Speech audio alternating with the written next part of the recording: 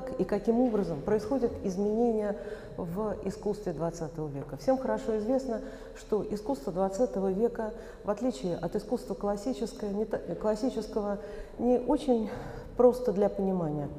А, не всегда бывает ясно, что хотел сказать художник, почему он так усложнил свою картину. А, всегда бывает э, много вопросов возникает по поводу того, а как к этому относиться, как относиться к тому, что явно не художественно или э, явно э, не вызывает какое-то чувство эстетического удовольствия, к которому мы так привыкли, знакомясь с искусством классическим. Очень много всего происходит нового, не всегда очевидного, не всегда понятного. Я хочу вам предложить свое видение этих проблем, я хочу показать вам, что происходит э, в искусстве, как, почему утрачивает свое значение то великое классическое искусство, которое э, развивалось в предшествующие столетия. Э, в первую очередь, конечно, поговорим о Европе. И для того, чтобы показать вам, что же, собственно говоря, определяет эти сложные повороты, эти сложные тенденции.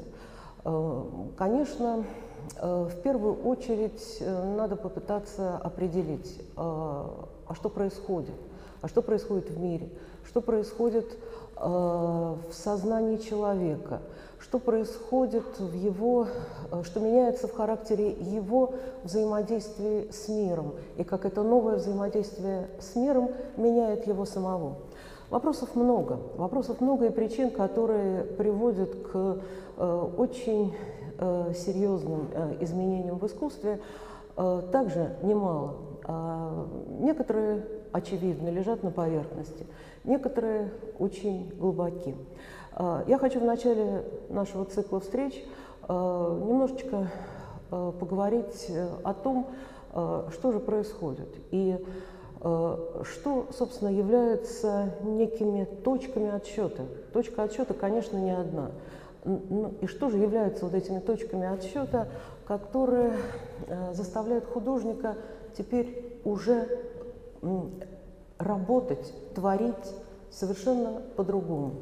Я произнесла слово «художник», и э, давайте мы э, вот это Э, э, этого художника нашего условного возьмем э, в качестве, ну, в качестве человека, взглядом которого мы будем промерять то, о чем будем говорить, те процессы, которые происходят.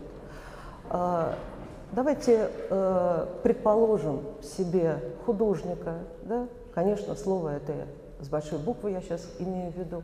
Имею в виду художника не только живописца, но и творческого человека, э, который может быть не живописец, или живописец, или скульптор, или еще э, представитель какой-то другой творческой профессии.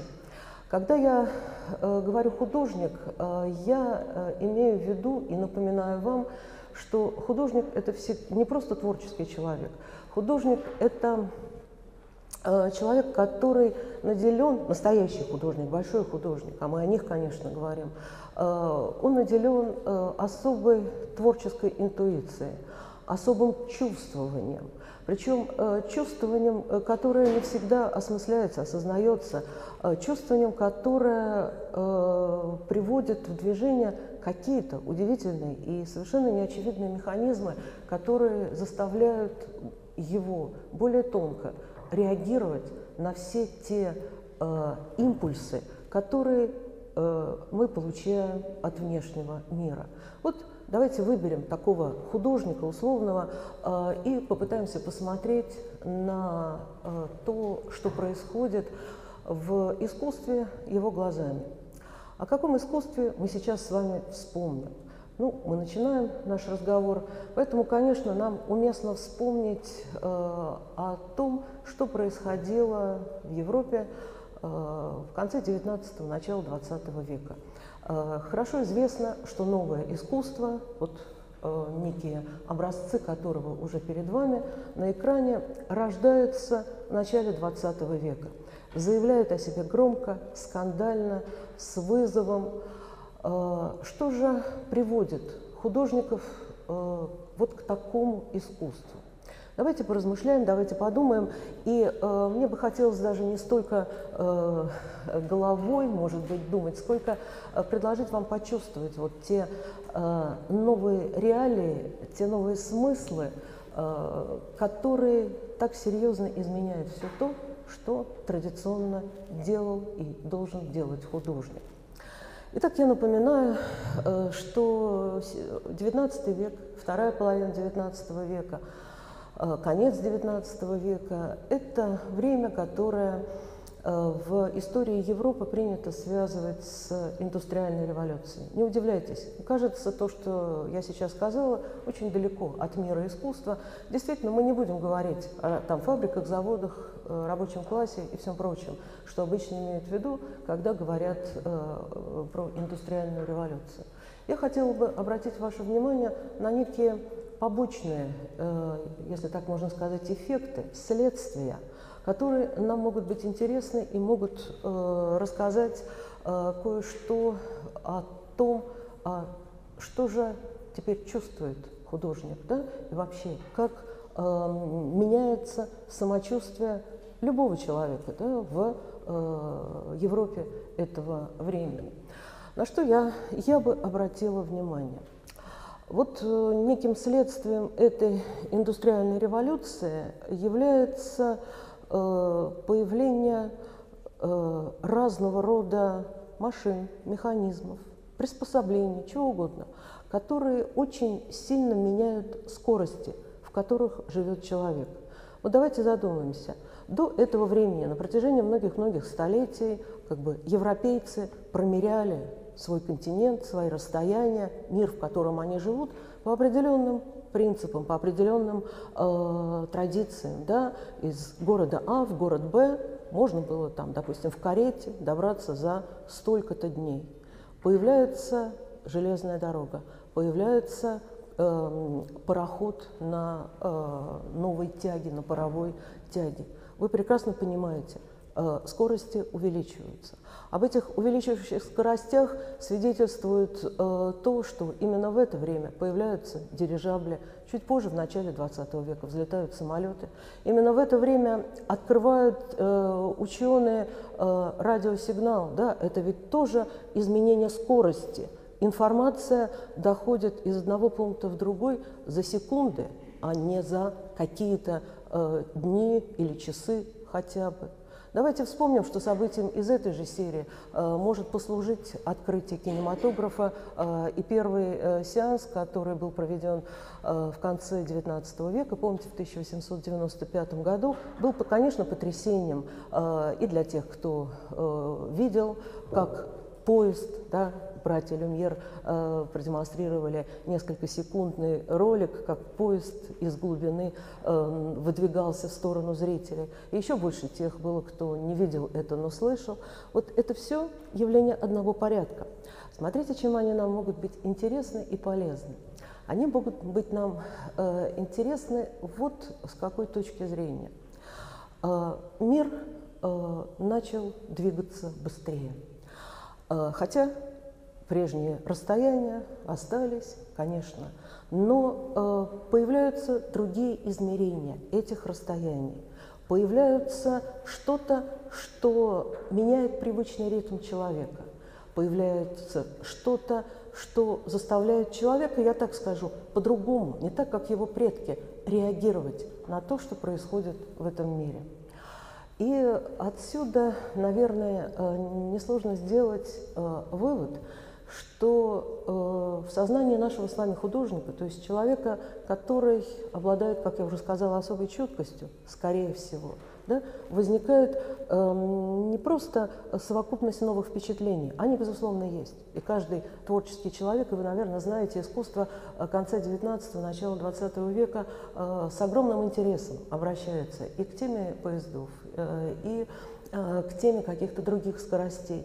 Но речь идет о другом. Речь идет о том, что э, возникает чувство, что мир какой-то другой, что вот он ус, утрачивает свои привычные очертания, он утрачивает свои привычные смыслы. Вот что-то начинает, я такое слово скажу, ускользать от привычных э, понятий, от привычных каких-то каких э, традиций.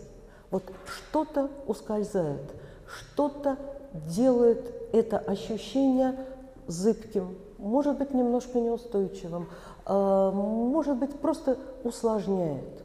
Но оно появляется. Это другое чувство неустойчивости, зыбкости. А если по-другому сказать, то ощущение того, что мир какой-то другой, вот не такой, к которому привыкли э, люди, да, а вот э, наряду с привычным есть что-то, что невозможно охватить, может быть, разумом, может быть, сознанием. Смотрите, какое это имеет следствие. Оно э, будет э, прочитываться в 20 веке на самых разных этапах э, истории искусства. Если классический художник, давайте на секундочку к нему вернемся, да, вот в классику, в э, предшествующее столетие. Если классический художник, я бы так сказала, промерял э, мир собой, своим опытом, своим глазом, своими впечатлениями, он основывался на том, что он знает об этом мире, что он видит в этом мире, и основываясь на этом, он э, выражал свои взгляды, свои идеи, э, какие-то мысли, состояния. Вот так было раньше. А теперь вот это стопроцентное, я бы, я, конечно, немножко преувеличиваю, да, но это стопроцентное доверие к миру, на который можно опереться, оно начинает разрушаться. Вот что-то не дает художнику почувствовать этот мир таким же э, э, прочным, как это было раньше. И отсюда чувствование художника, что если он не может что-то до конца об этом мире сказать, не может до конца этот мир промерить своим собственным опытом, то, наверное, для того, чтобы ему, художнику, высказаться, для того, чтобы ему, художнику, сказать, а что есть этот мир, в котором я живу и о котором я хочу говорить, будучи художником. Вот мне скорее, мне, художнику, скорее всего важно выразить, как я понимаю этот мир. Вот что для меня означает эти новые скорости, эта новая сложность, это э, эти новые какие-то ощущения. Я так вижу. Вот в какую сторону начинает двигаться творческое сознание художника. Э, вы знаете, что впервые со всей очевидностью это показали художники еще середины XIX века, художники-импрессионисты. Они на первое место поставили э, вот это самое «я так вижу», «я так вижу» э, и позволили себе э, создавать какое-то другое, отличное от академического, реалистического искусства. Импрессионисты были светлыми художниками, мы знаем, они восхищались миром, во всяком случае, многие из них. Но по, мере того, как происходило развитие, и, конечно, вот это отношение художника тоже изменялось и тоже превраща, превращалось вот в это я, «я так хочу», «я вам хочу сказать, как я вижу». И э, в завершении э, вот этой первой моей маленькой, э, э, вот первого моего отступления, может быть, или наоборот введения, э, я э, приведу фразу, которую уже в 20 веке, когда уже все обозначилось, вот эти все тенденции, скажет художник, которого считают одним из самых великих художников 20 века. Вот некий его некие его произведения сейчас перед вами на экране. Я имею в виду э, великого художника XX века Пабло Пикассо. Так вот уже позже, в XX веке, он скажет фразу, которая, наверное, подтвердит мою мысль. Я изображаю мир не таким, каким я его вижу, а таким, каким я его знаю. Я знаю об этом мире.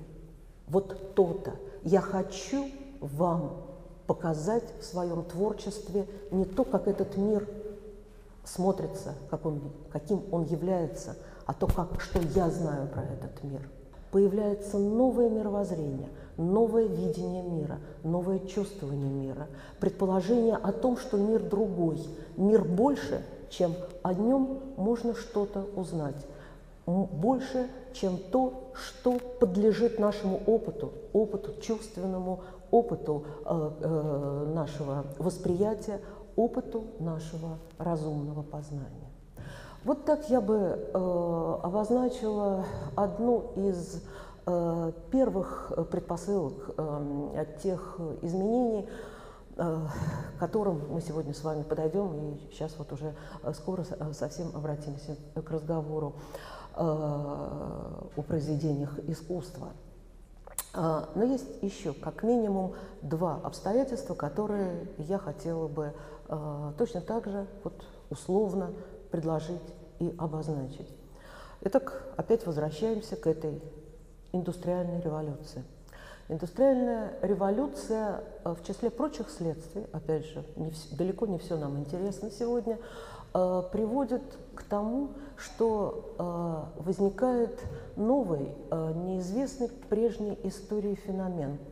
Феномен массовой культуры – Э, э, промышленное развитие, э, я очень кратко напомню, заставляет людей, бывших крестьян, переселяться в города, устраиваться, работать на фабрике, заводы. Они утрачивают связь со своими корнями, с традициями, они начинают жить другой жизнью. И они, безусловно, нуждаются в какой-то культуре, в каком-то искусстве, но их потребности – уже другие.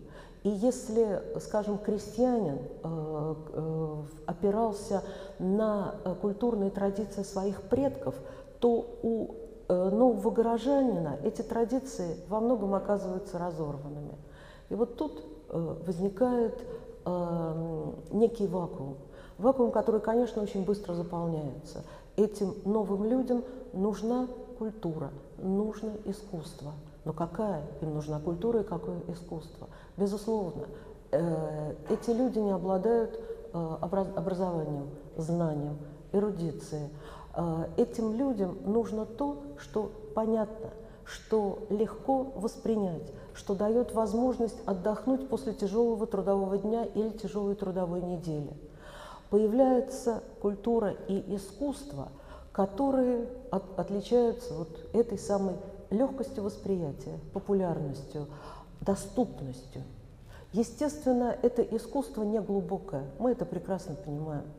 А, и вот, э, но это искусство начинает заполнять все, начинают печататься огромными тиражами, скажем, э, бульварные романы.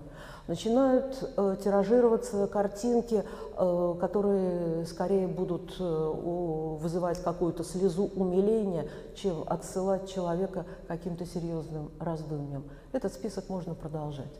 А, так вот, эта ситуация очень тревожна для нашего с вами художника, потому что настоящий художник не может делать а, искусство легкое и поверхностное. Он не может э, делать искусство, которое могло бы понравиться всем. И он понимает, что его удел в другом. Его удел в том, чтобы создавать искусство, которое говорит все о тех же других смыслах, как и искусство прежнее, высокое, обращавшееся к Богу, обращавшееся к высоким гуманистическим ценностям. Вот наш с вами художник, вольно или невольно, осознанно или неосознанно, но он хочет сохранить ту традицию, традицию искусства, которая больше, чем просто непосредственно развлечение, чем, больше, чем просто возможность отдохнуть. Это еще одно замечание, думаю, что э, довольно э, точно показывающее ситуацию, о которой мы с вами говорим. Ну и, наконец, еще один момент, э, без которого, наверное, э, тоже трудно говорить э, и рассказывать о том, как и почему возникает новое, не классическое, я бы даже сказала антиклассическое искусство с его сложнейшим языком, с его сложнейшими формами, не всегда понятными, не всегда очевидными. Так вот, этой третьей причиной является, ну, я бы так сказала, неожиданно для искусства возникшая конкуренция. Мы с вами говорим об искусствах изобразительных, искусство, которым всегда сразу с момента их возникновения э, э, они имели предназначение изображать. Я э, немножко э, так использую современную лек лексику и скажу, что изобразительные искусства обладали монополией на визу создание визуального образа мира. Да? Нужен образ или передать образ или идею божественного, пожалуйста, изобразительное искусство. Нужно э, передать облик того или иного человека, пожалуйста, обращаются к художнику или к скульптору. Нужно изобразить мир, пейзаж, природу, что угодно, многоточие оставим. Кто этим ведает, в кавычках? Этим ведает, конечно, изобразительное искусство. И вдруг вот в этот самый, э, в период этой самой индустриальной революции, в этот самый XIX век, э, эта монополия оказывается разрушенной. Вы, конечно, догадались, о чем я уже говорю. Я хочу вам напомнить, что э, в XIX веке э, возникает фотография. Э, первый снимок был получен французом Луи Дагером в 1839 году. Но к середине, а уж тем более к концу XIX века, фотография становится безумно популярной. Фотография, фотография доступна всем. Э, фотография э, может запечатлеть и э, образ человека, и какой-то элемент природы, пейзаж. Фотография значительно более дешевая возможность что-то зафиксировать. И вы прекрасно понимаете, если раньше человек, который хотел иметь свой портрет, шел к художнику, платил деньги, тратил время на то, чтобы ему позировать, то ситуация с фотографией все меняется вот в, в сторону вот того, о чем я уже говорила, все становится быстрым, доступным, очевидным. Э, наступает 20 век, и э, вместе с фотографией мы уже можем говорить о том, что э, возникает целый мир изображений э, репродуцированных. Э, появляется море э, того, э, что связано с тиражированием каких-то картин, картинок, визуальных образов, всего что угодно. То, что я обозначила словом конкуренция. Конечно, наш с вами художник не будет конкурировать с этим Э, количеством, бесконечным количеством, морем э, тех или иных изображений. Но, но сам факт их появления, он очень-очень серьезно меняет судьбу искусства. Меняет, во-первых, потому, что э, меняется глаз зрителя – и я об этом скажу уже не сегодня, потому что это следствие обозначится э, ближе к середине XIX века. Я просто скажу тезисно, что когда мы смотрим э, на фотографию, э, наш глаз работает не так, как если бы мы смотрели на картину классическую. Меняется наше с вами восприятие. Вот в ситуации, когда наряду с картинами мы бесконечно часто сталкиваемся с изображениями, с изображениями созданными техникой. Но об этом я скажу потом. А сегодня я возвращаюсь к своему художнику и э, скажу, что, конечно, в этой ситуации художник меньше всего э, хочет писать и конкурировать с фотографией. Писать картины, которые мы называем привычным нам словом реалистические. Э, картины, которые э, показывают мир в его наглядности, в его очевидности, э, со всеми его особенностями вот в новой ситуации это лучше делает техника, да? фотоаппарат, киноаппарат, ну и дальше по списку, вплоть до сегодняшних цифровых технологий. Поэтому я обращаю ваше внимание, это важно, э, техники и технологии очень серьезно э, меняют судьбу искусства и э, меняют видение художника. Он видит мир, как мы уже теперь понимаем, другим и не может работать так, как работали предшествующие поколения художников. Он должен э, говорить э, об этом мире как-то по-другому и каким-то другим языком. Э, я хочу представить вам сегодня нескольких э, самых крупных и самых великих художников э, первого поколения авангардистов, того поколения, с которым связано вот то самое разрушение традиций, разрушение прежнего искусства – да, эти художники-разрушители, вы сейчас увидите, они э, фактически уничтожают картину в прежнем виде, э, уничтожают вот эту реалистичность, они уничтожают то, э, что мы всегда привыкли любить и ценить в классической картине. Они создают что-то, как я уже сегодня сказала, что вызывает возмущение, э, негодование очень часто у современников. Э, непонятно, конечно, очень многое непонятно. Э, давайте посмотрим э, самых главных, еще раз в кавычках их назову, разрушителей, художников-авангардистов, которые главные свои произведения создают в начале XX века. Если быть более точным, то сегодня ограничимся разговором о первых двух десятилетиях, но эти первые два десятилетия XX века оказались вот очень Э, серьезной революции в искусстве. Первый художник, да, вы, конечно, узнали э, знаменитую картину его, э, это Пабло Пикассо.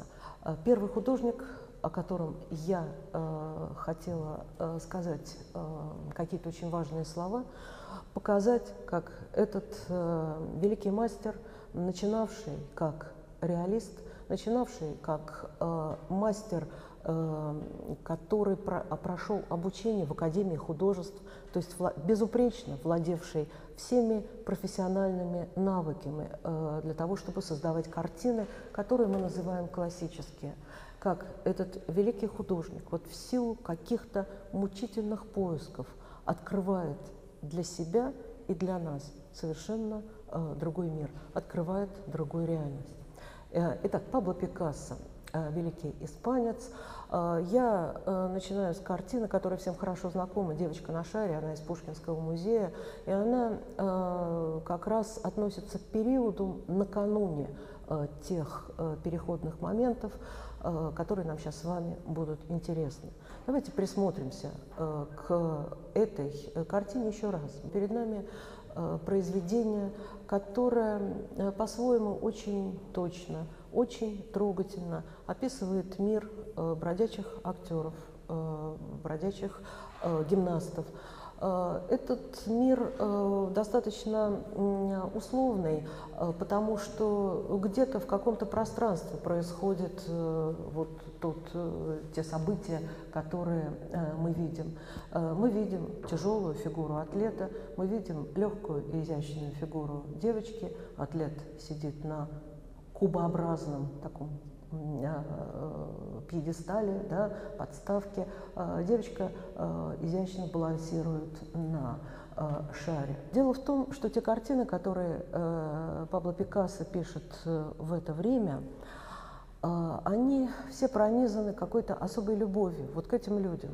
В его, среди его персонажей этого периода много людей, которых мы бы сегодня назвали выброшенных из жизни, много бедняков, бедных, больных, одиноких людей, ну или вот таких э, гимнастов, как здесь, э, бродячих комедиантов, которые тоже, вот они где-то на э, краю той нормальной, скажем так, нормальной жизни, которая, э, которой здесь нет в картинах художника этого времени. Дело в том, что, наверное, э, Пабло Пикассо не был бы э, великим художником, не вошел бы в историю как великий художник, если бы он не был э, наделен каким-то особым гуманистическим даром, он, ему всегда важно, вот в самый, э, казалось бы, неподходящий для этого периода жизни,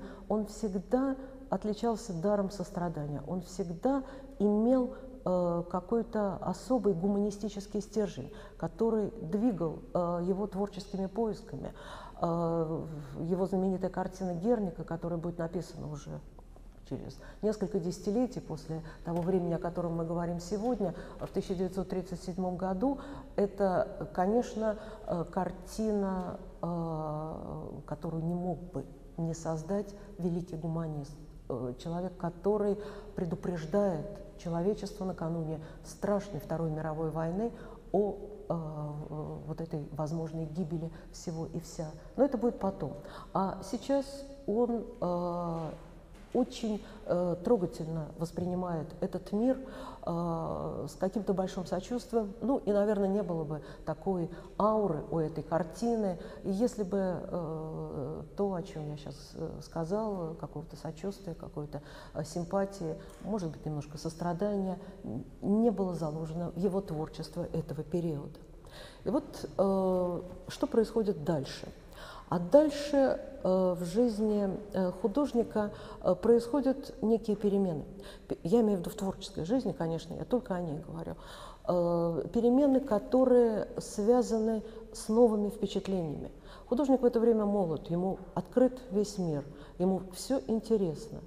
И он, в числе прочего, попадает под влиянием того, что он увидел на одной из выставок, которую он посетил в Париже. Перед вами э, африканская маска, которая напрямую к Пикассо не имеет никакого отношения, как вы понимаете, но она э, вводит нас с вами в мир тех поисков, которые э, ведет в это время художник. А в это время, если быть более точным, то в 1906 году в Париже проходит удивительная, поразившая всех парижан выставка выставка искусства народов Черной Африки.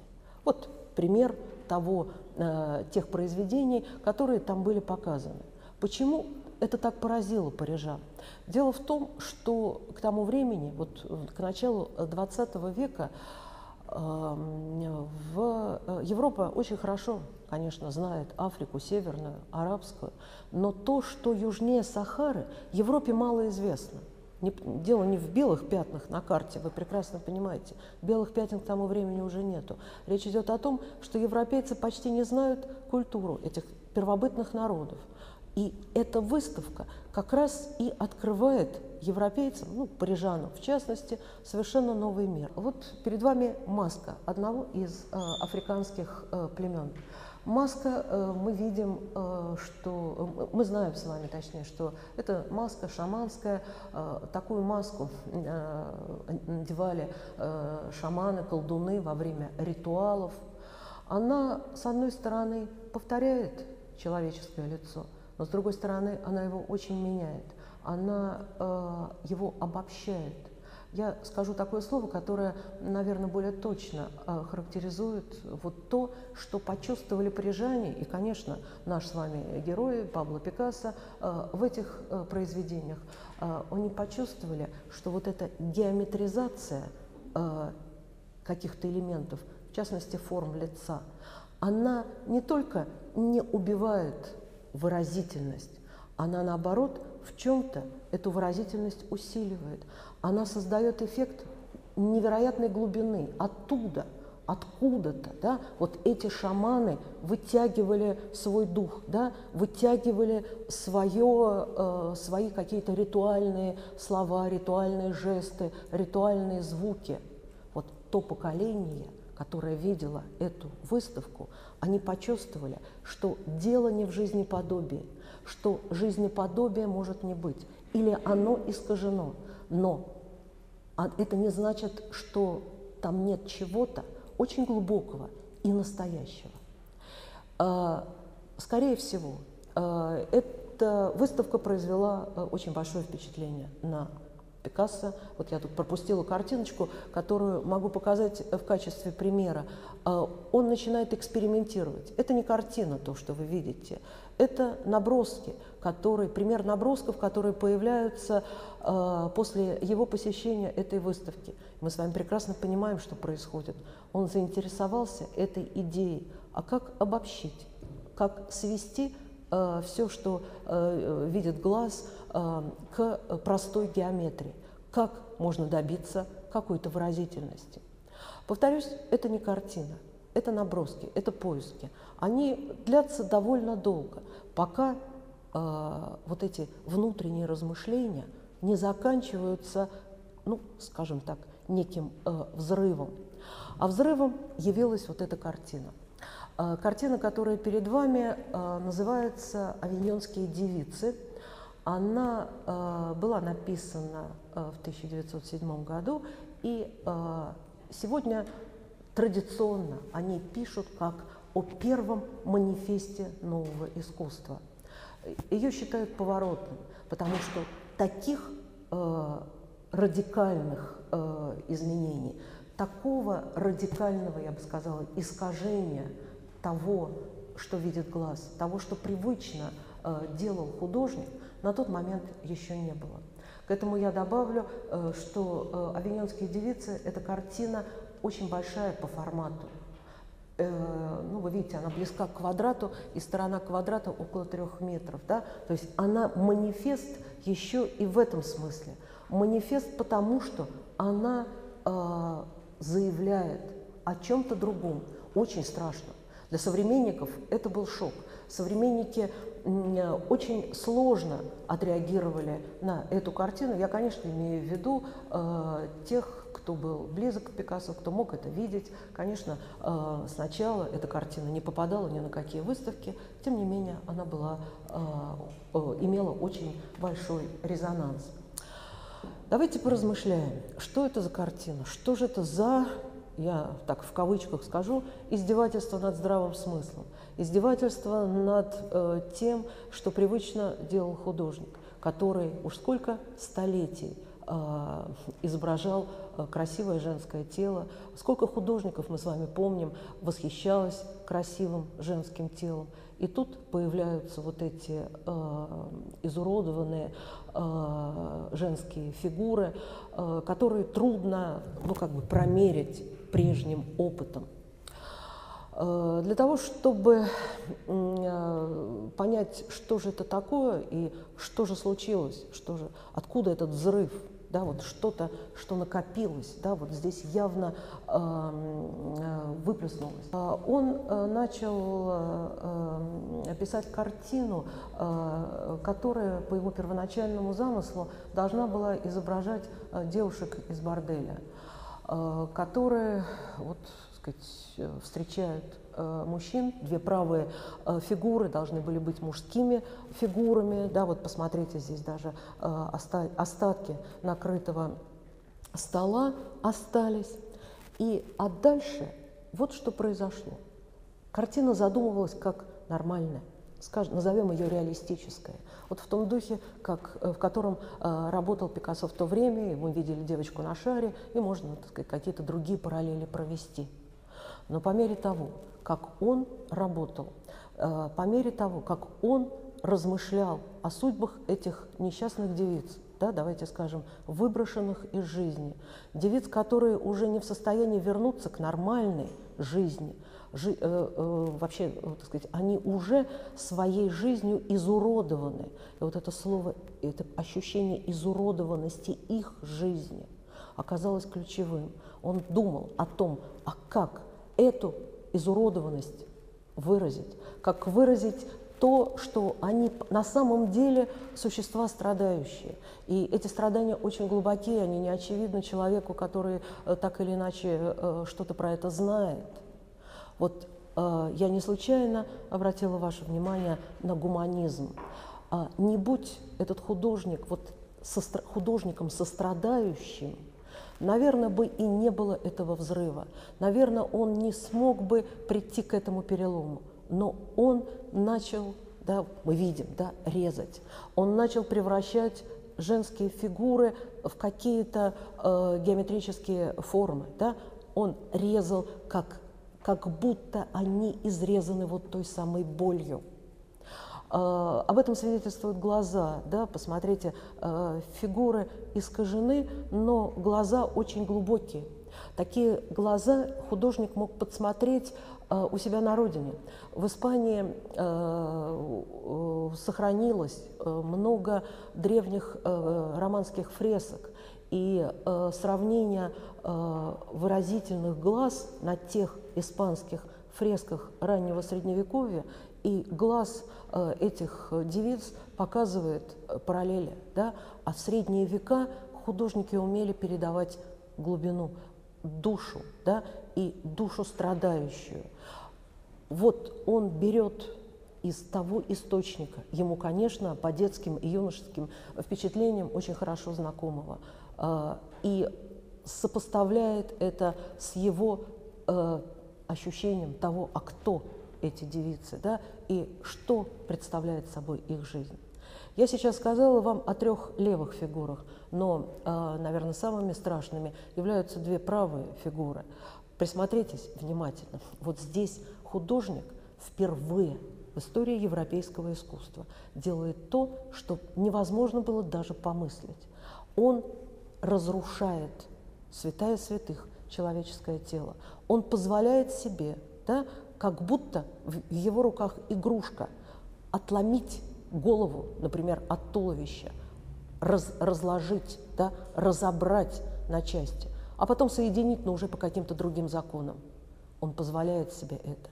Вот нам сегодня, э, тем, кто знает, как э, будет развиваться искусство дальше, в последующие десятилетия XX века, наверное, это так страшно, таким страшным не кажется. Но это действительно было страшно. И это действительно было впервые. Художник замахнулся на святая святых, да, на человеческое тело. Человек всегда был центром европейской культуры.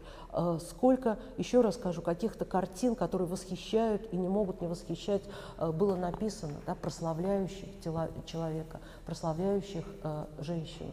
А здесь разлом, а здесь уничтожение. Не уничтожил ли он э, этим самым прежние принципы? Не уничтожил ли он э, то прежнее гуманистическое отношение к человеку, которое э, уже к этому времени было поставлено под сомнение, а оно было поставлено под сомнение, потому что к этому времени э, многие чувствовали э, то, что можно назвать кризисом культуры.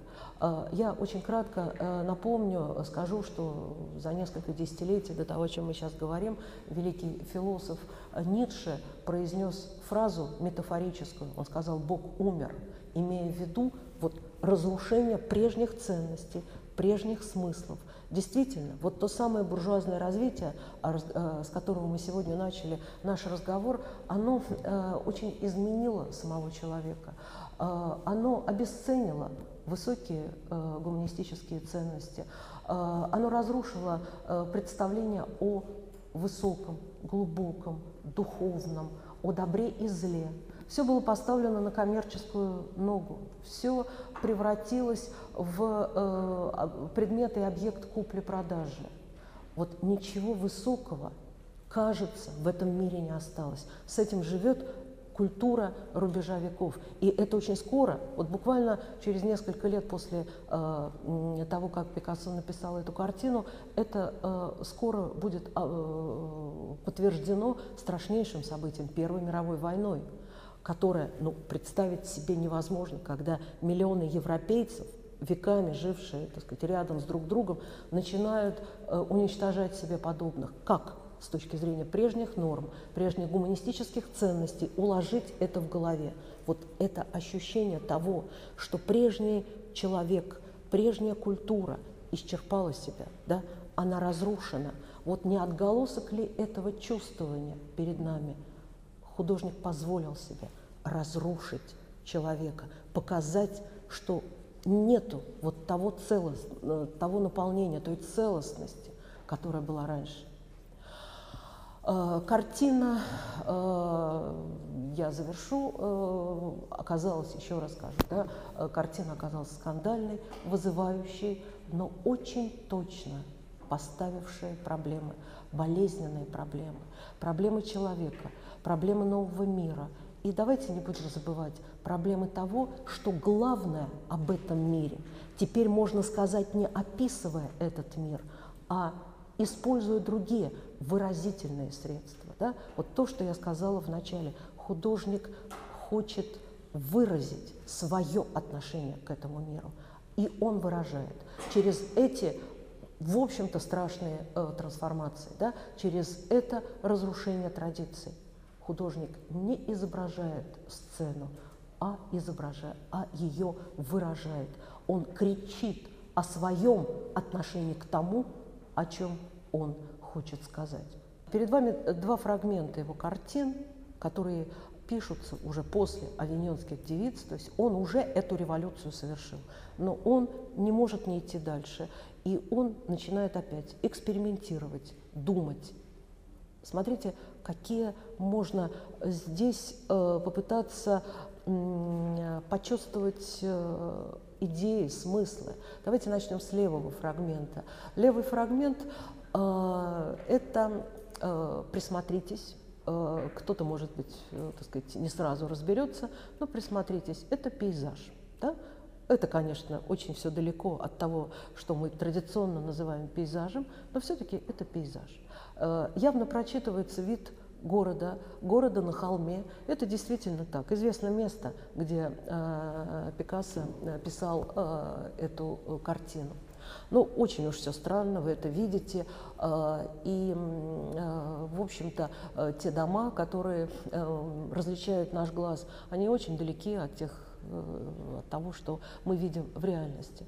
Давайте попытаемся э, э, разобраться, а что же это за такие странные домики и для чего так художник так ну, искажает да, э, действительности, да, для чего он, э, почему он не может просто написать э, вид на этот небольшой городок. Э, я предлагаю вам выделить глазом какой-нибудь фрагмент. Явно здесь прочитывается какой-то дом. Он э, изображен э, обобщенно. Э, и странность, если мы присмотримся, э, изображение этого э, нашего фрагмента заключается вот в чем. Смотрите, мы видим этот дом вот как будто мы смотрим на него спереди, и как будто мы подошли, обошли его, подошли с другой стороны и видим сбоку, а потом мы еще поднялись куда-то вверх и увидим э, ту часть крыши, которую точно, если бы мы стояли перед этим домом, мы бы не увидели.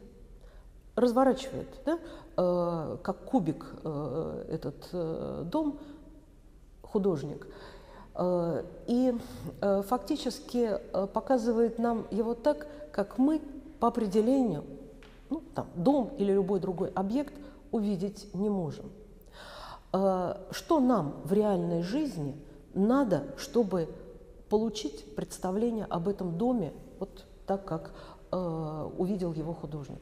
Я, я еще раз повторю, я думаю, что мысль мою вы уже поняли. Нам надо, во-первых, встать перед ним, мы увидим фасад – Дальше нам надо переместиться, затратить какое-то время, переместиться в пространстве, мы увидим его сбоку. Потом залезть куда-то на горку, извините, ради бога, и э, увидеть его сверху. Мы затрачиваем время, мы перемещаемся в пространстве, и только тогда мы получаем полное представление об этом нашем условном домике. А художник, смотрите, что он делает. Он э, предлагает нам увидеть этот дом со всех сторон сразу – не затрачивая, как я уже сказала, время и не перемещаясь в пространство. Что это? С одной стороны, это игра. И э, для того, чтобы понять многое в искусстве XX века, всегда надо помнить, что художник очень часто превращается в человека играющего. Он предлагает нам игру. Вот он нам не говорит точно это, это и это, а он предлагает нам игру. Он втягивает нас. Вы хорошо знаете, что, такая, что такое игра. Игра, э, игру можно не принимать. Я не хочу участвовать в игре. Тогда я за пределами игры. Тогда я постою перед такой картиной и отойду. Я не играю. Я не хочу разбираться э, в том, зачем, почему художник так искажает действительность. Но я могу и принять правила игры, я могу э, заинтересоваться этими правилами, и тогда я останусь перед этой картиной. Вот если эту условную, э, вот эту мою мысль, она, конечно, в чем-то упрощает э, замысел художника, безусловно, но э, я предлагаю эту мысль как бы э, взять за основу и перенести ее на э, подобную картину. Тогда смотрите, что у нас получается.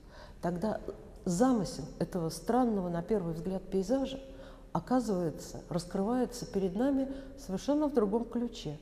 Тогда оказывается, что художник хочет не просто э, показать нам вид на этот небольшой городок, а он хочет сказать нам о чем-то, об этом мире, об этом кусочке действительности, что-то большее, чем может увидеть нам наш глаз.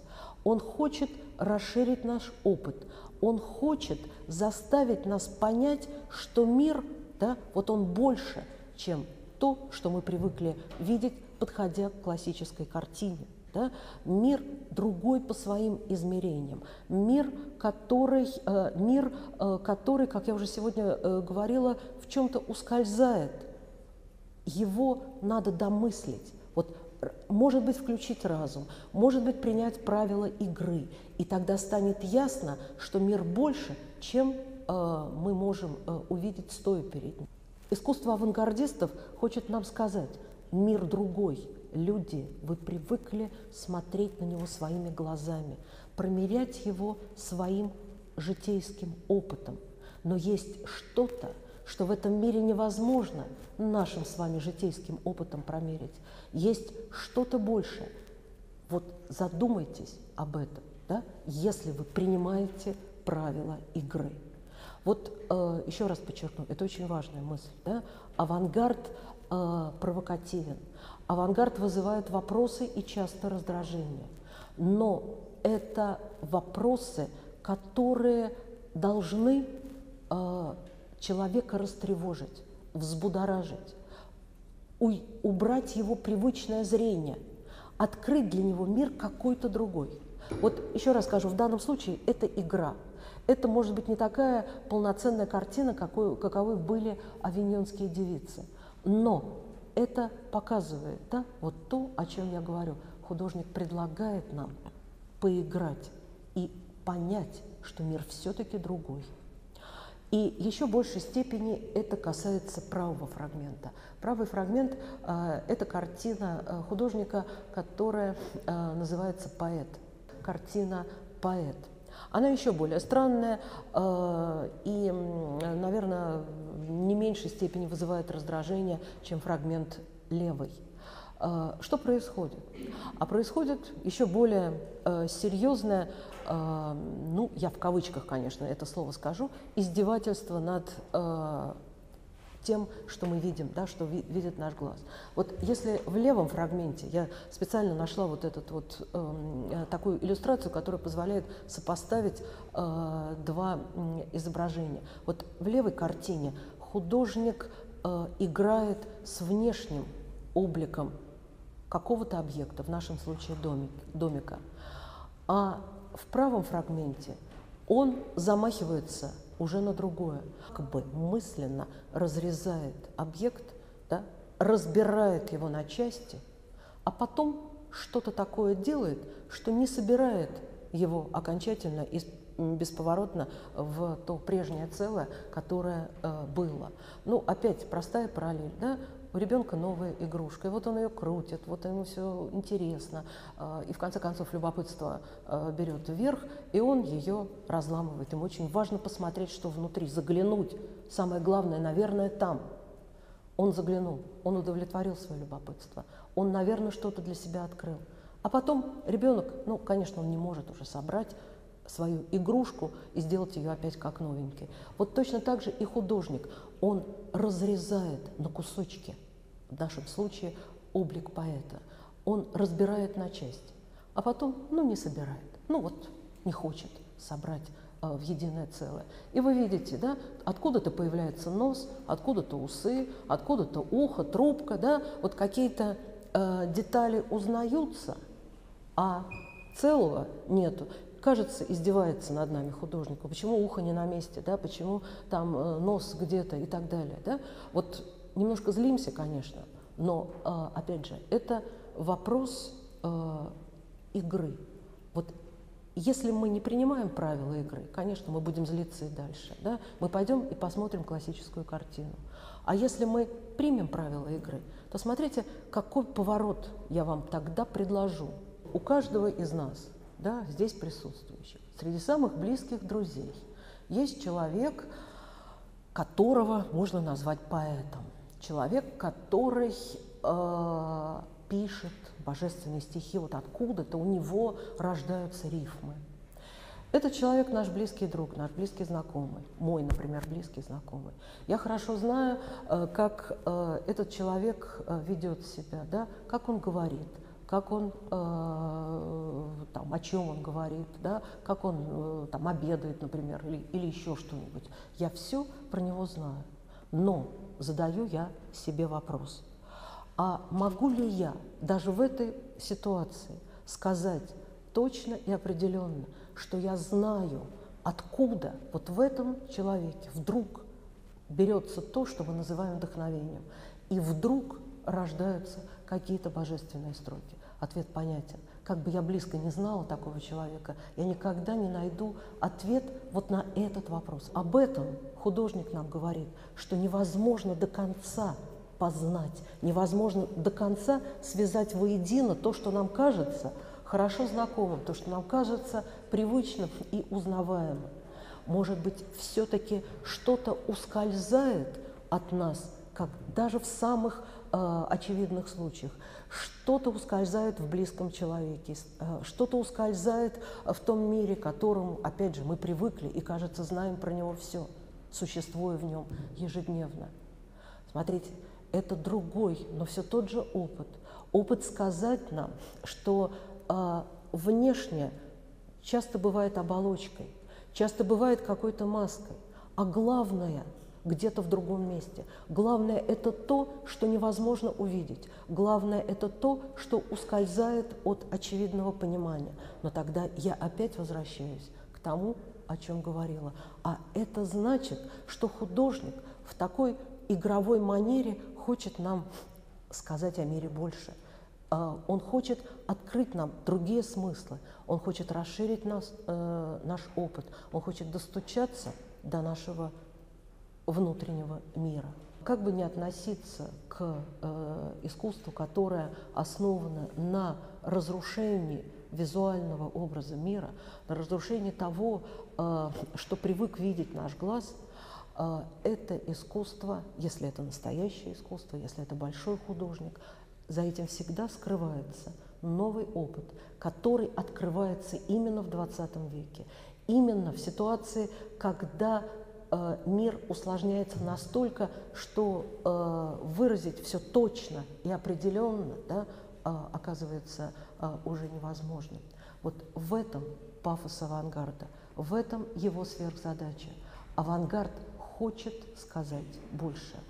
И это стоит за разрушением. Надо разрушить, чтобы создать другой мир, чтобы открыть другое измерение. Вот по жанру это портрет, но в этом портрете так же, как и в образе этого человека, что-то ускользает, да, что-то не собирается в единое целое, а, что-то множится, что-то дробится. Да? Вот здесь я бы еще э, провела параллель с, э, с каким-то разбитым зеркалом. Да? Вот эти кусочки, на которые разбивается эта картина, э, эти э, фрагменты, э, безусловно, могут быть ассоциированы вот с тем самым э, зеркалом, которое разбивается. Вот, вот он, гуманизм, утрачиваемый на глазах. Вот это э, то, э, те э, утраты смыслов, о которых я уже говорила в контексте э, его картины «Авиньонские девицы». Да? Вот что-то разбивается, что-то прежнее, традиционное. Человек всегда был ценностью, и вдруг его облик ассоциативно может быть э, э, сравнен вот с такими кусочками разбитого зеркала. Вот художник-авангардист любит метафоры – он любит вот какие-то игры, еще раз скажу, вот которые, кажется, ускользают. И это происходит в числе прочего и потому, что он не хочет быть понятным с легкостью. Помните, я э, сказала, что в ситуации, когда широкие массы требуют того, что легко, понятно, очевидно лежит на поверхности, вот художники другие, они хотят, чтобы их искусство заставляло остановиться, чтобы оно было нелегким. Это позиция. Вот легкое – это то, что понятно всем. Это то, что не имеет прежней ценности. А это искусство, перед ним надо остановиться, надо подумать, надо, как я говорила, поиграть. Да? Не каждый вступит в эту игру, вы это прекрасно понимаете. Но если человек начнет играть, то он, конечно, уже будет думать не только о том, что легко, просто и понятно, ах, да, а он будет думать о чем-то другом.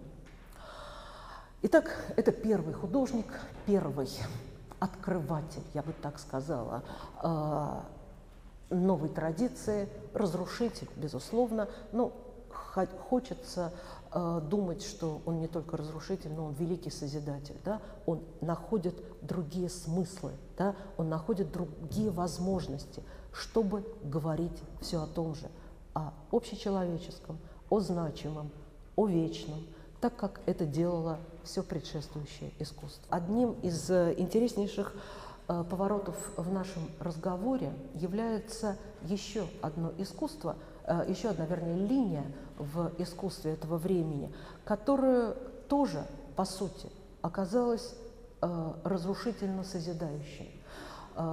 И эта линия более, наверное, разрушительная, чем тот кубизм, который мы сейчас видели у Пикассо. Да? Слово кубизм всем хорошо знакомо, я забыла об этом сказать. Да? Художник играет в кубики, да? отсюда такое название этого течения. Вы видели да, эти кубики да? а, только что.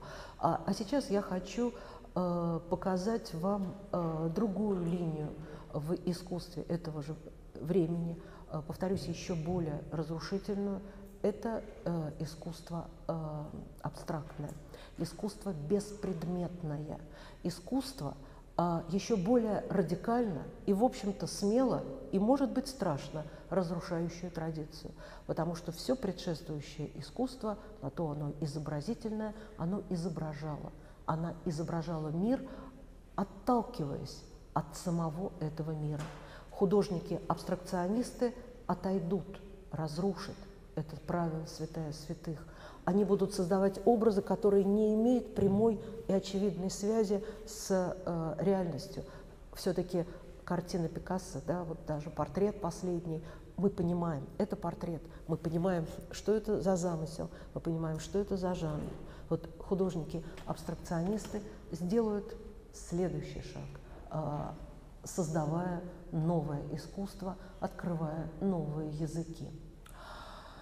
Э, так получилось, что э, абстрактное искусство, э, возникшее тоже в это время, в первые два десятилетия XX века, имело две главные линии. И, соответственно, два великих человека создавали это искусство. Так получилось, что этими двумя великими художниками оказались художники русские по происхождению. Давайте начнем с Василия Кандинского. Итак, Василий Васильевич Кандинский э, э, художник, э, который впервые пришел к абстрактному искусству, к абстрактному творчеству. Василий Васильевич Кандинский родился в, Сан... родился в России, получил образование в Санкт-Петербурге, ну и уже после окончания университета он решил стать художником. А, поздно, да, а, он не с юности рисовал. А, для того, чтобы научиться искусству, он покидает Россию и переселяется в Германию. Поэтому главные его открытия были сделаны в Германии. В Германию он уезжает в середине первого десятилетия, даже в начале, да, в 1903 году где-то он уезжает в Германию и там учится искусству, учится живописи. И пока я э, еще несколько слов про него скажу, э, вы посмотрите на одну из его ранних картин. Вот с таких картин он начинал. Да? Его русские корни мы чувствуем, не можем не чувствовать. Да? Какой-то мир э, из сказки царя, царя Салтана, да? Э, мир какой-то очень трогательный, да? увиденный э, как э, действительно некое сказочное э, целое. Вот э, тот, те первые шаги, которые э, он делает э, как художник. Постепенно его искусство меняется, и вы видите, да, а, изменения очень существенные. Поэтому надо сказать, надо попытаться рассказать, а что происходит, почему вот такая живопись открытая, теплая, как мы видели на предыдущем фрагменте, вдруг начинает сменяться чем-то другим. Пока давайте скажем чем-то другим. Я хотела бы говорить о том, что перед нами действительно выдающиеся люди, действительно люди, которые э, не просто э, художники интуитивные, да, а люди, которые приходят к своим открытиям на основе очень э, глубоких переживаний, очень глубокого осмысления всего и вся. Василий Кандинский отличался своим очень, э, кроме того, что он стал художником и писал картины, э, он э, отличался очень большим интересом к философии. Э, любил философию, но какую? Не всякую философию. Он э, очень увлекся э, идеями Э, так называемой теософии, которая была популярна в Европе и в России в это время. Что это такое за философское учение? Э, это учение говорило о том, что истинным в этом мире являются все духовные практики человечества. Теософы говорили о том, что допустим, древняя индийская, восточная философия, древняя восточная религия, западное христианство, какие-то еще древние культы – это то единое целое, то единое духовное наследие человека, которое составляет истинную цель, истинную смысл, истинный смысл э, этой жизни. Да? Вот они в, в условиях, когда утрачивалась духовность, о чем я уже сегодня говорила, теософы предложили ну, свою концепцию. А что, если в этом мире нету больше прежних ценностей, гуманизма, Бога, который умер, если следовать за Ницше, то есть что-то другое, говорят философы, теософы. А, Кандинский очень увлечен этой э, философией. Он э, в своих э, работах много пишет о том, что задача художника – это не просто писать картины, а искать, э, вот я сейчас скажу три слова, и э, во всех его записях эти три слова пишутся с большой буквы. Высший духовный космос. Да? Вот для него это очень важно. Он настроен на те э, духовные поиски, которые э, он открывает след за э, философами этого направления. Это первое, что, пожалуй, уместно было бы здесь сказать. Второе. А, он очень интересуется теорией живописи и, в частности, теорией цвета. Он, а, ему очень интересно, как мы воспринимаем те или иные цвета, те или иные краски. Конечно, он не первый, и очень много э, до него уже было и художников, мы уже импрессионистов вспоминали, которые, безусловно, также имели к этому интерес и думали о возможностях краски цвета воздействовать на нас с вами, на зрителей. Да? Понятно, что какие-то цвета, например, красный, желтый, будут нас возбуждать, какие-то цвета, э, наоборот, будут нас успокаивать, какие-то краски. Э, художник размышлял, что если, предположим, э, взять пятно желтого цвета и придать ему форму треугольника, смотрите, желтый цвет – это цвет яркий, да? Как мы говорим, раздражающий нас, эмоциональный э, цвет. Треугольник фигура с острыми углами. Да? Сама форма подчеркивает вот эту заостренность. Да? Желтый и заостренный. Такая фигура будет на нас воздействовать гораздо сильнее, чем если мы возьмем зеленое пятно спокойного цвета и придадим ему круглую форму. Круг фигура спокойная, э, э, гармоничная. Понятно, что желтый треугольник и синий, э, там, зеленый круг мы по-разному воспримем.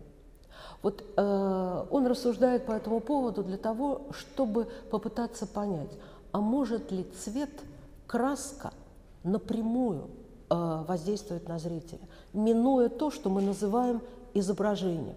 И с этой точки зрения я должна упомянуть еще одно его увлечение. Он чрезвычайно увлечен музыкой. Он хорошо в ней разбирается. Он, э, безусловно, музыкально одаренный человек, и э, музыка его очень волнует и беспокоит по поводу, потому что музыкальный образ воздействует на нас, на слушателей, абстрактно. Да? Нам не нужно себе что-то представлять, когда мы слушаем хорошую музыку. Да? Напрямую музыка вызывает у нас какие-то чувства. Вот Кандинскому очень интересно. Он теоретик, и ему интересно, а может ли краска, то есть то, что есть в руках у живописца, воздействовать на нас с вами напрямую? Да?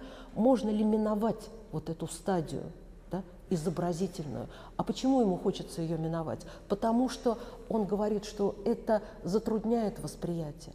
Истинное в душе у человека. И самое главное – достучаться до души – а все эти, так сказать, там, я не знаю, формы, э, люди, природы или там какие-то, э, еще какие-то э, привычные для художника э, изображения, они э, затуманивают истинный смысл, да? они искажают образ. Вот он размышляет в этом ключе. Ему это очень важно для того, чтобы найти приемы э, передачи высшего духовного космоса. Да? Вот это для него очень важно. И э, что происходит? А, и поэтому э, происходит то, что появляются картины, подобные той, которую вы видите. Картина, где э, уже не столько сюжет, не столько выразительность э, выходит на первый план, сколько вот это, опять скажу слово, экспериментирование или игра с цветовыми пятнами, которые, видите, приобретают какие-то экспрессивные э, характеристики, которые э, уже утрачивают такую непосредственную связь с реальностью. Они обобщают реальность. Да? Э, какой-то желтый элемент пейзажа, безусловно, синяя гора, мы понимаем, да, эту часть э, его картины. Э, но все это сводится к каким-то простым формам. Ему интересно упростить, чтобы понять, а можем ли мы напрямую да, вот какие-то эмоции воспринимать, да, минуя вот этих всадников, гору там и так далее. Э, он экспериментирует, но переворот случается, как всегда, неожиданно. Э, переворот случается в один очень простой будничный день. Он живет в это время Германии, недалеко от Мюнхена. У него мастерская, и каждое утро он, как всякий художник, любит выходить на прогулки, писать какие-то этюды. И вот однажды, пишет он, я возвращаюсь с такой утренней прогулки в свою мастерскую. Я открываю дверь, а, а день яркий, солнечный, и в ту секунду, или точнее в ту долю секунды, пока мои глаза еще не привыкли после яркого солнечного света к темноте, пишет он, я вдруг ощущаю, что что-то меня как громом поразило. Я переживаю какой-то удар. Вот он использует это слово. Потом, пишет он, э, э, мои глаза привыкают, и я пытаюсь понять, а что же на меня произвело такое впечатление. Оказывается, пишет он, это была моя собственная картина. Ну вот представьте себе подобную картину. Они, э, в общем, э, он пишет э, вот подобные произведения э, именно в это время. Только стоявшие кверх ногами. Смотрите, удар от цвета, от форм есть. И в эту минуту, пишет он, я понял, что то, что меня связывало, да, вот эти силуэт горы, очертания всадников, что-то еще, то, что меня связывало с э, прежними э, принципами, с прежними традициями, оно не нужно. Удар, этот импульс можно получить вне связи с тем, что мы узнаем, что напоминает нам окружающую действительность.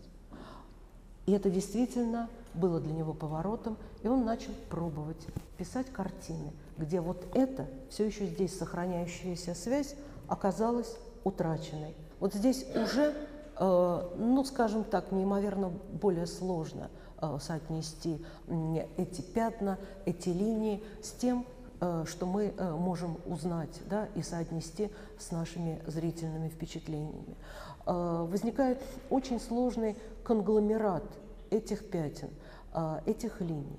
Но я думаю, что я не ошибусь, если скажу, что перед нами не какой-то беспорядок, а перед нами что-то хорошо организованное. Да? Ну, давайте еще одну э, иллюстрацию, вот такую я открою, э, которая э, является э, одной из самых любимых э, композиций Кандинского. Это не э, просто э, пятна и линии, это что-то, повторюсь, имеющее сложную организацию. Давайте проанализируем, что дает вот мне право говорить именно так.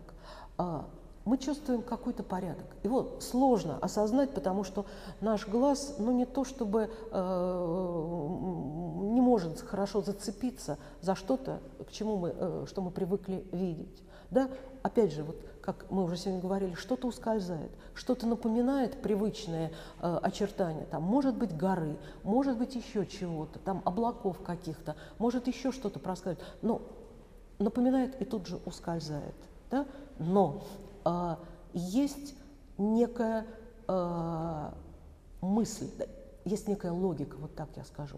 Посмотрите, все э, формы, все пятна, все линии, которые Кандинский э, здесь, э, собственно, которыми он наполняет э, эту композицию, они так или иначе структурируются вокруг вот какой, какой-то линии. Смотрите, какое-то движение мы чувствуем вот от этой части картины, да, только так об этом можно говорить, к части картины, которая уходит туда, в правый верхний угол. И вокруг этого движения собираются все пятна, собираются все линии. А что такое сделать или подчеркнуть вот такое движение, как э, сделал это художник?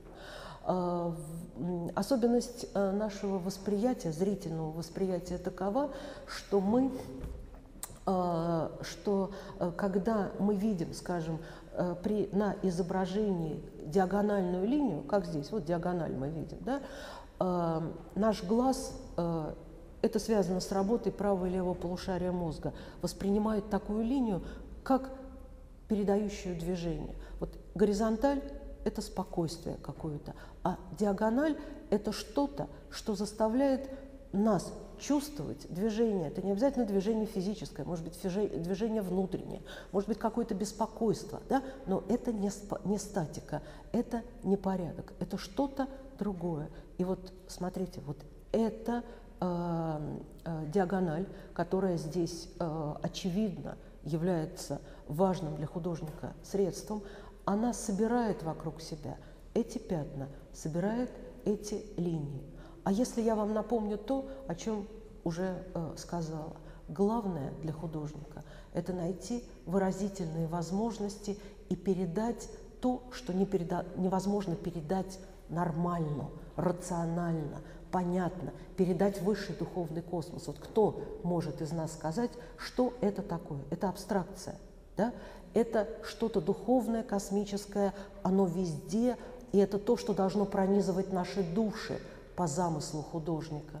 И он, оказывается, хочет найти живописный эквивалент вот этому, да, вот того, что невозможно написать, да, невозможно понять, невозможно представить. Поэтому он очень смело отрывается от того, что привык видеть наш глаз, от э, того, что э, наполняет наше повседневное земное пространство. Ему земное пространство не интересно. Ему не интересен этот наш земной опыт. Он хочет другого.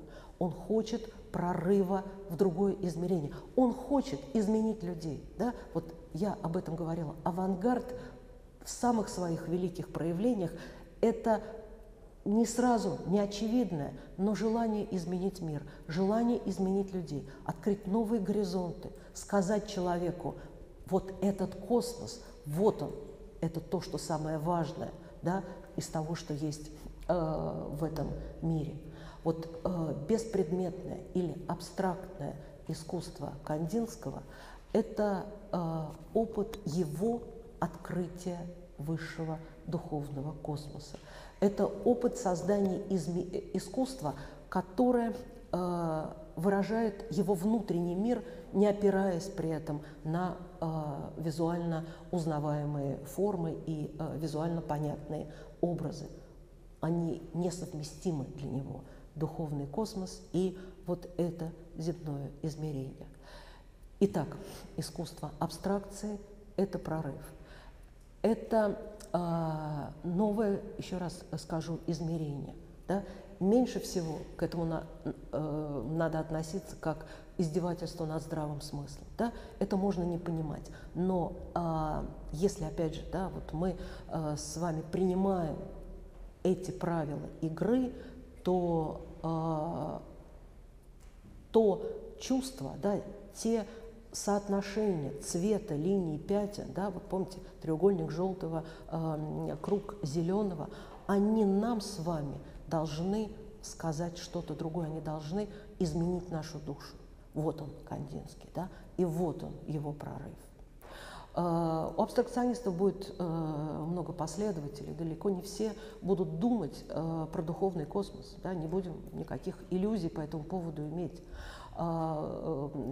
Среди художников-абстракционистов встречаются самые разные, но самые лучшие и самые главные достижения в абстрактном искусстве – это достижения все-таки художников, которые хотят что-то другое сказать миру, хотят и очень хотят быть э, понятыми. Ну и после Кандинского, да, еще один сюжет я вам э, хочу предложить. И давайте опять вернемся к тому, что абстрактное искусство э, возникает в двух линиях. Одну мы посмотрели. Это искусство такое экспрессивное абстрак, абстракция, да, искусство, которое э, э, вот, говорит про другое духовное измерение. Но есть вторая линия абстракции – которую принято называть геометрической абстракцией, и э, ее создание, э, рождение, точнее, связано с именем еще одного знаменитого русского художника Казимира Малевича.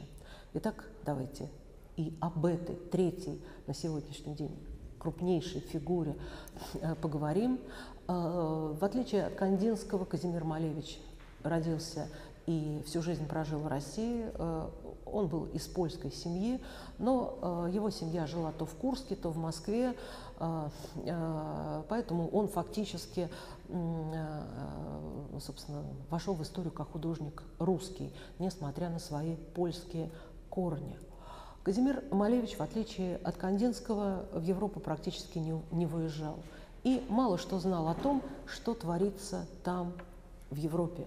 Да? Вот он как художник сформировался в России и выразил именно то, что э, составляло э, очень важные э, какие-то особенности именно России в это время.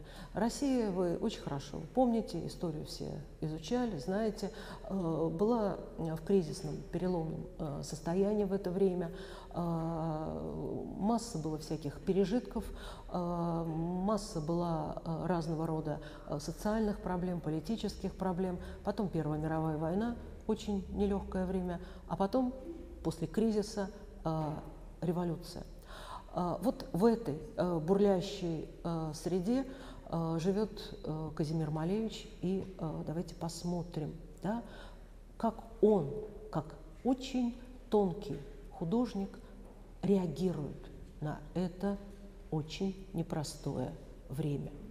Итак, он учится живописи, заканчивает там художественную школу, Эм, э, первые его картины, я их здесь не показываю, они абсолютно импрессионистические. Он начинает как импрессионист, много света, много э, воздуха, э, вся та красота, которую мы знаем э, по творчеству европейских импрессионистов, э, она в его э, картинах.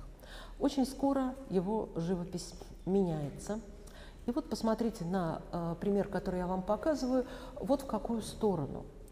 Э, в его э, картинах э, прежде всего появляются э, темы, связанные с крестьянами. Крестьянка, крестьянка вот здесь с ведрами и ребенком, э, жениться, э, э, разные сюжеты, э, очень э, связанные э, с темой крестьянства. А, тема крестьянства, конечно, возникает не случайно, русского крестьянства. Вы помните, во-первых, какое значение имело крестьянство в русской жизни да, до э, революции. На нем все держалось. И Малевич, который э, был человеком, э, э, все время искавший что-то вневременное, что-то Э, что, опять же, как я уже сегодня неоднократно выходила, э, говорила, выходила за рамки э, того, что привычно, узнаваемо. Вот он тоже был таким человеком и таким художником. И его привлекли крестьяне, потому что для него это было впечатление, что на крестьянстве держится вся Россия. Крестьянство – это то, что было всегда. На крестьяне э, хлеб, э, хлеб – это основа традиции, он пытается найти корни, корни русские, да? вот общие, э, какие-то общерусские смыслы, видимо, его привлекают в этой теме крестьянства. Почему я позволяю себе так говорить? Потому что, смотрите, как эти крестьяне изображены. Они изображены не как нормальные люди, да, как в привычной, э, наверное, реалистической картине. Они изображены как какие-то идолы. Посмотрите, обобщено, обобщены фигуры, лица, превращены в какие-то камнеподобные существа, застывшие, да, идол, что-то вечное, что-то, что было всегда. Он ищет, как художник, какие-то приемы – выразить вот это, то, что было всегда. А, ну вот еще один пример, таких можно было бы привести много. А, я хочу к тому, что было сказано, добавить еще один момент. Посмотрите, он а, делает здесь то, что мы бы назвали сегодня обобщением формы. Да? Вместо конкретной фигуры этой крестьянки он форму округляет, обобщает, да?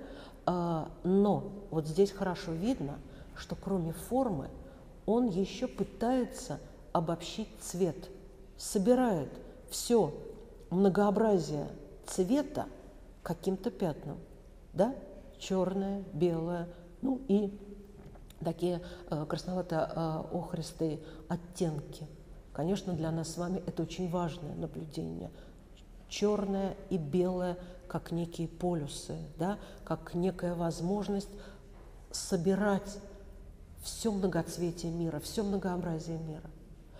А дальше опять поворот, да, как всякий крупный художник, он вдруг да, приходит к чему-то э, новому, странному, непонятному и, безусловно, шокирующему. Вот после этой крестьянской серии в его творчестве появляются картины, которые он сам э, хвастаясь ими, называет картинами алогическими. Смотрите, здесь нет логики, это правда, название очень точное. А, алогичные картины или алогические. Да?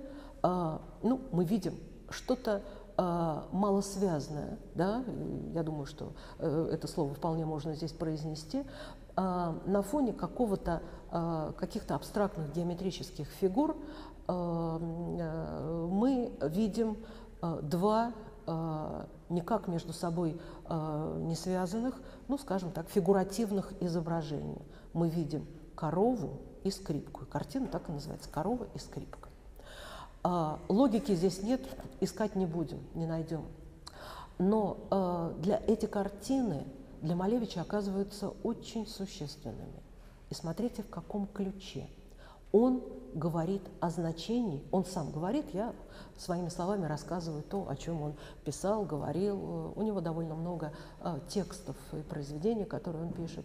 И он говорит, что э, этот алогизм на самом деле, с одной стороны, разбивает прежнюю картину, да, где, допустим, какие-то элементы, объекты должны быть связаны. Мы должны понимать как минимум да, а, какую-то связь, существующую между вот, условно э, коровой и скрипкой. Да? Вот Алогизм разбивает. Здесь нету этой прежней логики. Но есть другое. Если предположить, что эти объекты, эти элементы являются ничем иным, как некими э, метафорами, некими обобщениями, то смотрите, что можно домыслить, глядя на такую э, алогическую картину. Начнем со скрипки. Скрипка – музыкальный инструмент, который рождает божественную музыку. Да? Наверное, один из самых красивых после той музыки, которая э, рождается, инструмент. Вот э, выбрав скрипку, Малевич говорит, что она может воплощать в себе то, что можно считать вот этой самой высшей музыкой, какой-то духовностью, да, каким-то духовным началом, самым высоким. Тогда корова, как нам становится ясно, оказывается символом противоположным. Корова окажется выражением того, что земное имеет материальное начало, имеет материальное измерение. Да? И тогда для Малевича, он говорит э, об этом сам, в картине э, раздвигаются рамки, раздвигаются горизонты. В этой картине, малосвязанной с нормальной точки зрения, раскрывается совершенно другое измерение, другое пространство между высшей духовностью и чем-то земным материальным.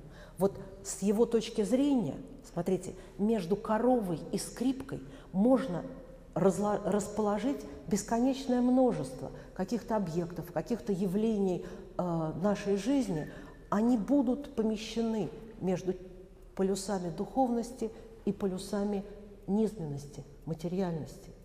Смотрите, вот этим алогичным путем Малевич, так же, как вот те художники, о которых я уже говорила, он пытается раздвинуть рамки картины, он пытается э, символически расширить возможности живописи и сказать в картине, да, опять же, обо всем, больше, э, чем о том, э, что можно увидеть э, глазом.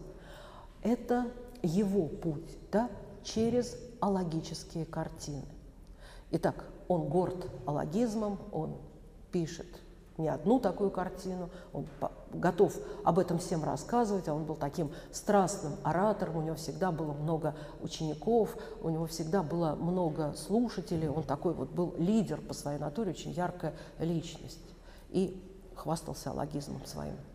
И тут э, следующий поворот в его жизни. Поворот вот какой. Э, он э, художник, безусловно, который провоцировал многих – в России то время, безусловно. И, э, соответственно, среди его друзей были также э, русские э, поэты и художники, которые также были провокаторами. Вы наверняка слышали про футуризм, футуристов, поэты-футуристы, художники-футуристы. Он дружил с футуристами, там Маяковский, Бурлюк, и его друзья-футуристы предложили ему как-то создать эскизы для а, пьесы, которую они собирались поставить. Пьеса должна была называться «Победа над солнцем». Название нас не должно обманывать. Речь шла не об обычном спектакле, а речь шла о неком действии, да, какой-то мистерии, где победа над солнцем означала победа абсолютной тьмы. Да? Вот э, все, конец жизни, конец света, наступает тьма. Еще расскажу о кризисе, еще расскажу о Первой мировой войне, которая разрушает все и вся, все здравые смыслы. Вот и еще плюс в России дополнительно, так сказать, какое-то такое бурлящая, э, такая бурлящая обстановка. Вот в этом, таком, в это напряженное время футуристы своим языком э, решают поставить такой спектакль. И Малевичу они обращаются с предложением создать декорации для этого спектакля. Сохранилось очень много набросков, подобных тому, который вы сейчас видите. Он взялся с удовольствием за эту работу, э, много рисует, пытается э, найти э, способ, а как выразить вот эту победу тьмы вообще. Над светом вообще. Мучается долго и в конце концов находит прием, который становится ключевым, который переворачивает и его жизнь тоже.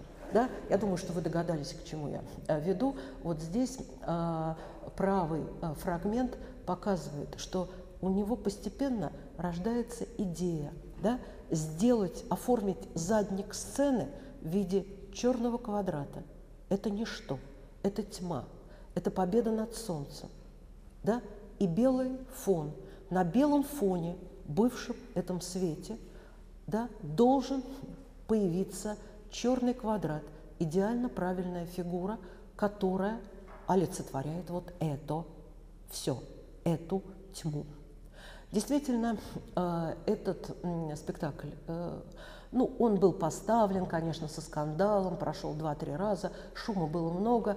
Э, конечно, Э, так, такие вещи принимались э, с трудом, собственно, они сейчас, наверное, принимались бы с трудом, потому что ничего привычного, похожего на привычное зрелище там не было, да, там были какие-то шумы, какие-то движения, какие-то завывания, да, вот как-то так можно описать то, что представлял собой этот спектакль. Но Малевич вынес из э, отсюда ту идею, которая сделала его знаменитым. А, и, э, э, собственно, э, он пришел к созданию черного квадрата. Вот э, посмотрите на эту фотографию. Это фотография выставки, которая прошла в Петрограде в 1915 году. Э, Э, где представлены картины Малевича. Это была авангардистская выставка, футуристическая выставка.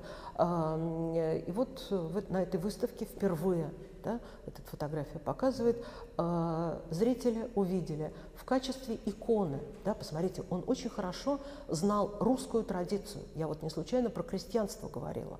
Он знал корни, он знал икону, он увлекался иконописью.